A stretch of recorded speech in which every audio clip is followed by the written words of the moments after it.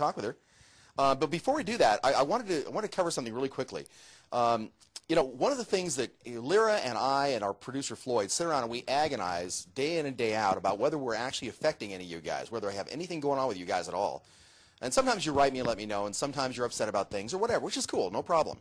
But the interesting thing is, sometimes we do find out that we do have an effect. And I wanted to want to run a, a video real quick that I think you'll enjoy seeing. Won't be able to read much of it, but it'll give you kind of the gist. Take a look at this.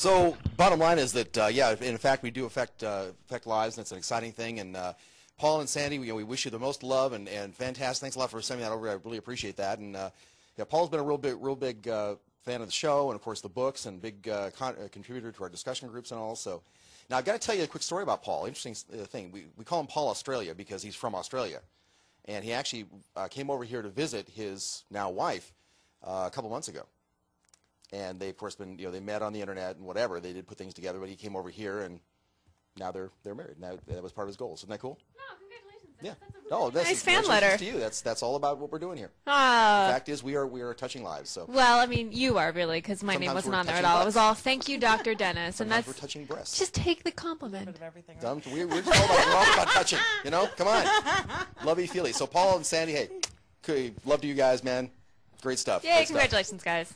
So, anyway, um, yeah, so that was a nice introduction. There, there we go. and you'll see we actually have our, our friend Artemis on now. Hi. Hey, this is Artemis. Now, I want to tell you a little bit about Artemis. Artemis. Now, she came to us also through the internet. Mm-hmm. So now uh, right. she's actually here to, to work on uh, making over Lyra as a porn star. I think that would Very be a lot of fun. Not half as excited as I am, I can tell you. No, yikes. Oh, yeah. This is going to be fun. So, uh, the guys actually were rec- recommending that uh, maybe what we do is, like next week we do me. Oh, why not? I just have to.